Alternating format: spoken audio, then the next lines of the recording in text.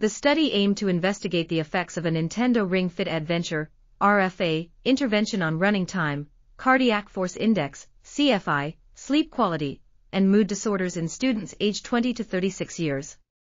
The results showed that the RFA group significantly reduced their running time by an average of 19.79 seconds for females and 22.56 seconds for males after four weeks of physical training. Additionally, the average score of the RFA group increased for both males and females in terms of mood disorders. However, no significant differences were observed between the RFA and control groups for CFI peak acceleration, FIPA, underscore walk, FIPA underscore run, or sleep quality.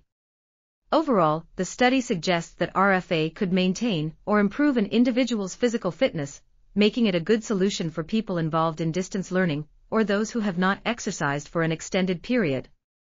This article was authored by Yi-Syuan Wu, Wei-Yun Wang, Ta-Chien Chan, and others. We are RTCL.TV, links in the description below.